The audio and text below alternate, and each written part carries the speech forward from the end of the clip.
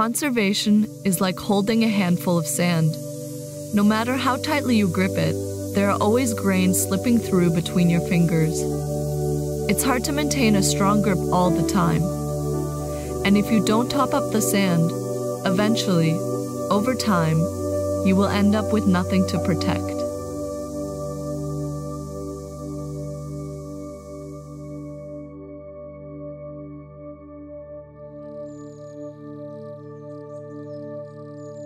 As a kid growing up here, I always assumed that Sudbury looked like the moon.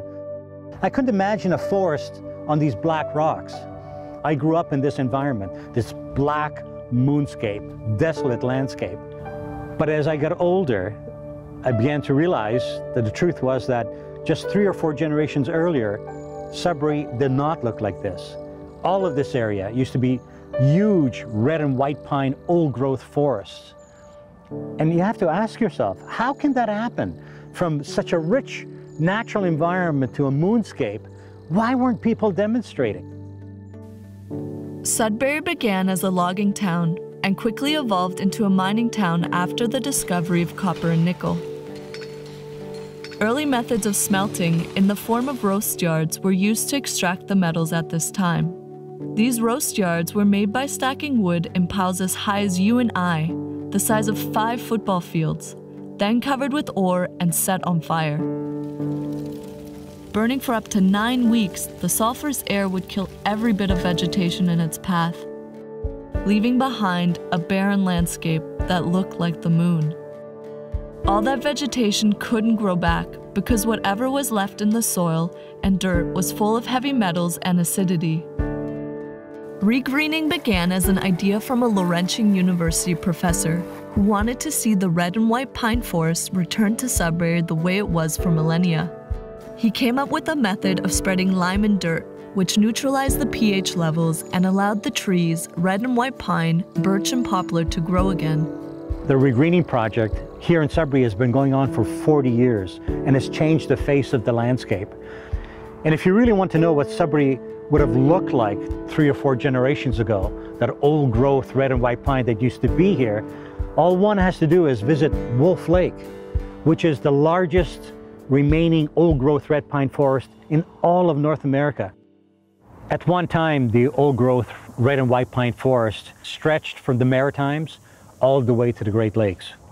Today, only 1.2% of that remains. And the largest part of that forest is here in the city of Greater Sudbury at a place called Wolf Lake.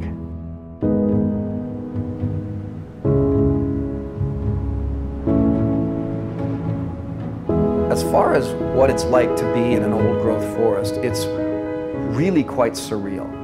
It's, it's, not, it's difficult to explain it to somebody at the dinner table. Oh, they're just so big and it's so beautiful and it's damp and the moss is so thick and it's effervescent looking. And you can say all those things.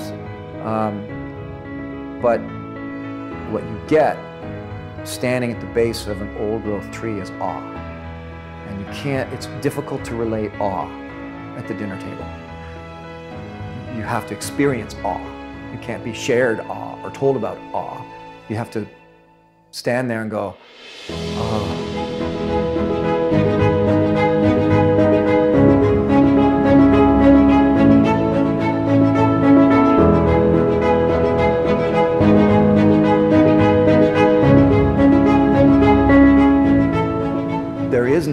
Comparison. I couldn't intellectually articulate a comparison of a, a, 10-year-old pine versus a 300-year-old pine. Um, it's, you know, I might as well uh, reverse that question around and say, well, tell me what the difference is between, you know, a three-year-old and an 87-year-old man. Imagine that these 300 year old pine trees are like our grandfathers and grandmothers. Similar to our families, old growth ecosystems require representation of all generations to be healthy and regenerate. The age of a tree can be determined by counting its rings, either by chopping the tree down, which is counterintuitive to our story, or you can take a core sample of the tree.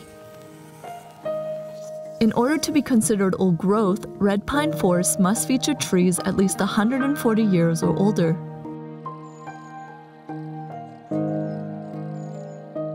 250 years is very old for uh, Ontario trees uh, in northern Ontario because the fire cycle is somewhere around 70 to 80 years. That's that kind of period of time is when you'd expect to have a fire go through.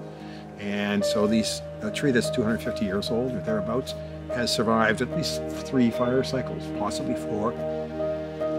The red pine is resistant to fire. It has a thick bark.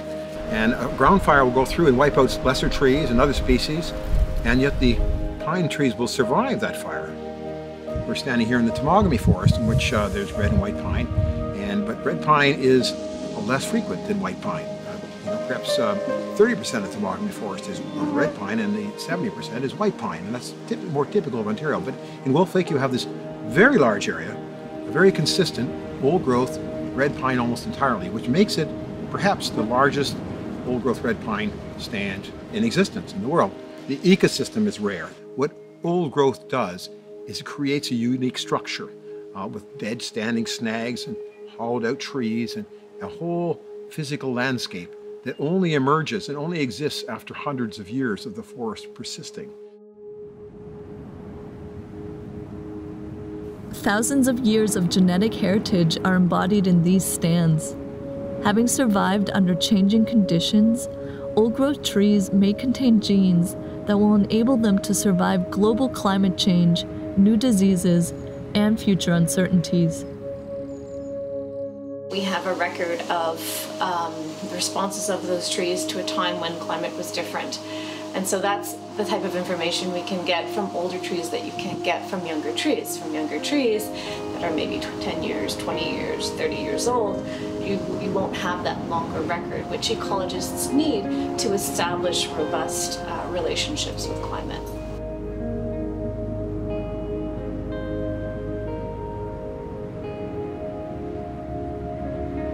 So they're, they're quite different and, and quite rare. And, and quite frankly, because they were very attractive uh, for lumber uh, in their day, uh, and one still are, uh, the, uh, they, many of the old growth pine forests were cut and eliminated.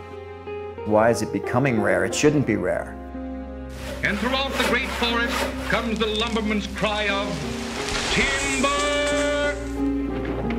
And there they go, shot through the air like torpedoes to make the world's greatest stockpile of logs for war. Ships are loaded and pushed off for the Tribune paper mill at Thorold at the western end of Lake Ontario. It became rare because we did not harvest sustainably. We did not harvest in responsible ways. I'm not saying we didn't have to harvest. We needed to harvest. We're standing and sitting in, in, a, in a house made of wood and, and drywall and, and brick and things like that. We definitely had to harvest, but we harvested in ways that were efficient for the truck driver, efficient for wherever the load had to go. So, cut. In 1999, there was hope of things getting better. The Mike Harris government released Ontario's Living Legacy Land Use Strategy, with the intention of setting aside 12% of the industrial forest to be protected for ecological integrity. Wolf Lake was clearly identified as one of those pieces that, that would be set aside and turned into a provincial park. But there was a conflict. There were mining leases and claims on the land that predated the living legacy, preventing Wolf Lake from becoming part of the larger park. Instead, Wolf Lake was given Forest Reserve status, preventing forestry but allowing mining activity.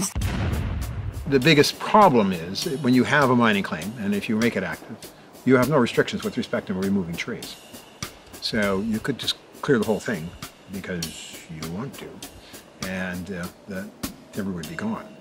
We'd like to secure it better into a uh, provincial park the agreement was that as claims lapsed, they would become part of the surrounding Chiniguchi Waterway Park. Despite this, in 2012, the MNR proposed to downgrade the forest reserve status to general use area, making it sound more appealing for mineral investment. A group of local businesses and organizations banded together to oppose this legislation. When the coalition started out, uh, we were in a bit of a sprint, and uh, the provincial government at the time was uh, proposing to uh, revoke the forest reserve status of the area. We mobilized very quickly a lot of people and, uh, and got that stopped, um, but then our sprint very quickly turned into a marathon. While the coalition was fighting to protect the forest reserve status, the government allowed the Wolf Lake leases to be renewed for another 21 years. There's currently no legislation stopping them from making another renewal in the future. Who's going to remember to protect a forest in 2033? If it's still there, that is. Why didn't anybody demonstrate? Why didn't anybody raise a fuss about the destruction that had occurred here? Where are the old growth forests?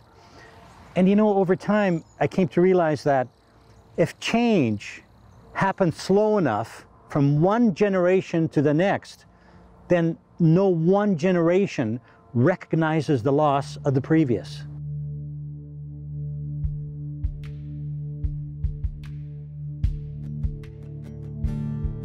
Back in 1989, First Nation and environmental activists banded together to protect old growth just north of Wolf Lake. The district manager of Temagami gifted this road to the developers. Hundreds of people were arrested for blockading the Red Squirrel logging road in Temagami, forcing the government to adopt a whole new look at how we deal or manage resources from a sustainable basis. The blockade resulted in several provincial parks and conservation reserves protecting old growth. Red Squirrel Road um, is a good example of and the power of the people, the power of uh, the voice of, of, the First Nations, who were very actively involved in the blockades and just trying to tell people, well, this is our land, basically, and you're stealing from us yet again. You know, to the First Nations, everything was connected. Everything needed to be connected, and it's the same with building a road through a forest. Um, if you disconnect that continuity of that forest, um, you take away a great part of that that spiritual nature of it and the integrity of, of what's connected that we can't see. And a lot of that forest is connected um, under our feet.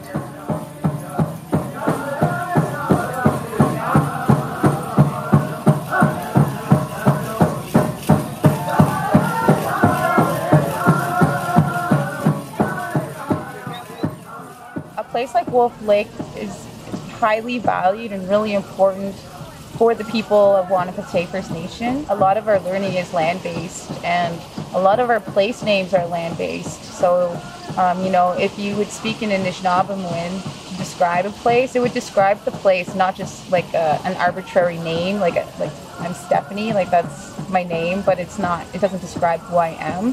Whereas in our language, um, it's very descriptive and it and it speaks to the land because that's the connection was to that part of the land, you know? So with losing places like that, we're losing a part of our language, a part of our identity, and um, we're unable to carry that forward anymore because it's lost. In my purism phase, I used to think we need to create these places and no one should ever go in, ever. And uh, I changed, and I changed my mind. I think that places like old growth forests should have trails through them. Those trails should come with rules. Once you have the rules in place and the trail systems in place and the access limited and guided professionally and properly, then no, I don't believe you'll love a place to death. I think people will go as they should go. But if there's no trails, no access, it's just locked off for, for beauty, well, okay, but then you better hope that every government's good with that. Because otherwise, what's going to happen is at some point, it's like, well, no one ever goes there. This place over here, we've been saving it for 38 years, and no one ever goes there. Yes, we get why we saved it in the first place, but hey, we have a strong argument for mining that valley. We landed on places like Wolf Lake that end up being called rare when they shouldn't have been. These trees stand as the last sentinels of old growth red pine ecosystems, containing plants, animals, and human connections that exist in only these areas, which makes them vital, vital to protect, vital to top up their conservational sands.